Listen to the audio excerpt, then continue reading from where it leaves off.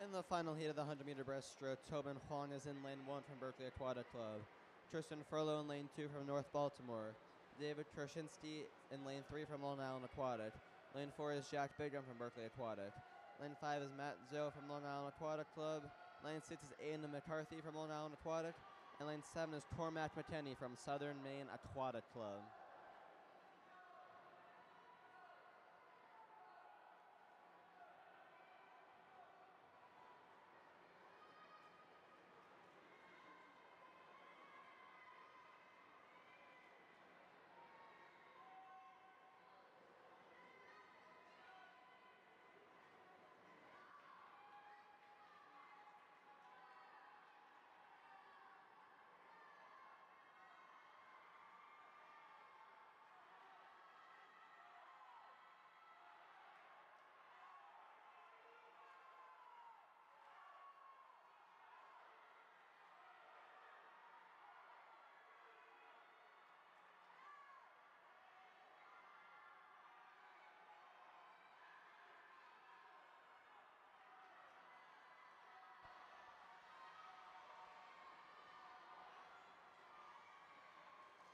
In a very close race, Matt Joe from lane 5 wins the 121.67, followed by Tristan Furlow lane 2 with a 121.83.